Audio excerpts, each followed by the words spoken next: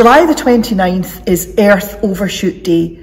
Just a bit more than halfway through the year, we will already have used up our quota of the Earth's natural resources. If ever we needed reminding that we're in the middle of a climate and ecological emergency, Earth Overshoot Day does it.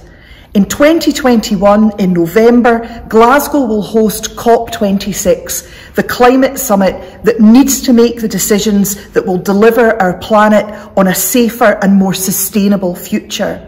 We've got the opportunity here in Glasgow to show the world what we're doing, coalescing together as a city to show real change to respond to the climate and ecological emergency. Let's do it together, Glasgow. Let's move the date and let's put our planet first.